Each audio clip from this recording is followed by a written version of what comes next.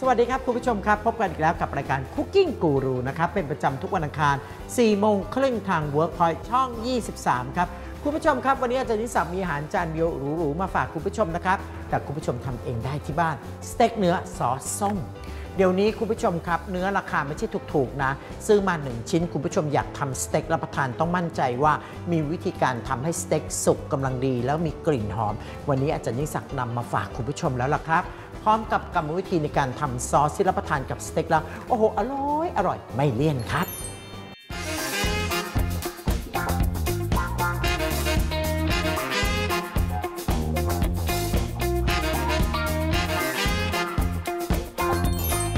หรับสเต็กเนื้อซอสส้มนี่ก็ต้องเรียนคุณผู้ชมว่า ถ้าคุณผู้ชมเป็นคนรับประทานเนื้อ แล้วก็ไม่ทานหมูเนี่ยเบคอนเอามาห่อแบบนี้ไม่ได้ แต่เนี่ยวันนี้เรารับประทานเราก็เลยเอาไม้กลัดกลัดไว้ เพราะฉะนั้นก่อนจะเสิร์ฟยังไงคุณผู้ชมก็ต้องดูว่ามีไม้อยู่ในนี้เพราะเดี๋ยวจะไม่ปลอดภัยนะคุณผู้ชม วิธีการหมักเนื้อและหมูเบคอน เพื่อให้เกิดกลิ่นหอมที่เป็นเอกลักษณ์ของตำรับสเต็กจานนี้คุณผู้ชม อาจารย์นิสัตจะเทนี่ลงไปก่อนเลย นมข้นจืดตรานกเหี่ยวเฟลคอน ใส่ลงไป จะทำให้หมูไก่ แล้วก็เนื้อมีความนุ่ม แล้วก็มีกลิ่นหอม พอมันมีความรู้สึกที่แตกต่างจะทำให้เราเกิดความรู้สึกอุ้ยตาย หมักแล้วทำให้เกิดความรู้สึกว่าน่ากินมากขึ้น แล้วก็เครื่องเทศในการทำสเต็กเขาเรียกว่า ผงหมักไก่สไปซี่บิ๊กวิงตราโลโบก็ไม่ตวงนะคุณผู้ชมด้วยความชำนาญ แค่นี้ช้อนคนๆไปหน่อยหนึ่ง ก็จะมีสีแดง ๆ อมส้ม ๆ แล้วก็จะมีกลิ่นหอม อันนี้ก็เอาอันนี้จุ่มลงไปด้านนี้ก่อนพอจุ่มไปแช่ๆเสร็จแล้วก็พลิกกลับข้าง ถ้าว่างมีเวลาก็พักไว้ 1-2 ชั่วโมงในตู้เย็น เราก็อุ่นกระทะสำหรับเตรียมในการทำสเต็กก็เป็นกริลแพนแบบนี้ ใส่น้ำมันลงไป เป็นคนชอบสเต็กแบบวิธีการทำแบบใส่น้ำมันแบบนี้ เสร็จแล้วเราก็จัดการหย่อนหมูของเราลงไปทอด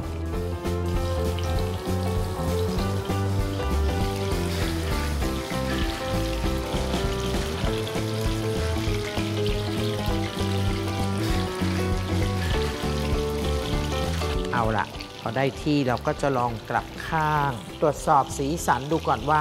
เหลืองสวยไหมนี่เห็นไหมเราก็จะได้สเต็กชิ้นสวย ในระหว่างนี้เรามาทำซอสส้มกันเลย แล้วก็ปล่อยสเต็กให้ไฟอ่อนๆ ไปเรื่อยๆสำหรับการทำซอสอาจารย์ยิ่งศักดิ์ก็ใช้หม้อด้ามเจแปนิสตราหัวมะลาย ใส่ เนยสดลงไปแล้วก็ตามด้วยกระเทียม เดี๋ยวนี้เขานิยมกระเทียมเป็นลูกๆก้อนๆกันเลยคุณผู้ชม ใส่ลงไป เอาละเนื้อเราจะใช้ได้เราก็จะปิดเตานะคุณผู้ชม เอาละปล่อยให้ร้อนรุมๆไปแบบนี้ พอเนยกับกระเทียมเริ่มจะร้อน อาจารย์นิสักดิ์ใช้ขวดนี้คุณผู้ชม ส้มฟรุตเบด preparation ตรา nature taste ปกติแล้วเราก็จะซื้อมาสำหรับการทำเครื่องดื่มนะคุณผู้ชม แต่วันนี้จะบอกกับคุณผู้ชมว่า อาจารย์นิสักดิ์ก็เอามาใส่ในการทำซอสได้ด้วย จะมีความเป็นส้มส้มเรียบร้อย ใส่น้ำสต๊อกลงไปนิดหนึ่ง เป็นซุปไก่ธรรมดาพริกไทยป่นใส่ลงไปหน่อยหนึ่งโรสแมรี่แห้ง คุณผู้ชม เป็นเครื่องเทศที่ใส่ลงไปเสร็จแล้ว เข้ากันดีกับส้ม เกลือป่นเราก็เติมเพียงแค่นิดเดียวเท่านั้น เอาละคนไปเรื่อยๆ เดี๋ยวเราก็จะได้ซอสส้มๆอยู่ในนี้ ก็เคี่ยวไปนะคุณผู้ชม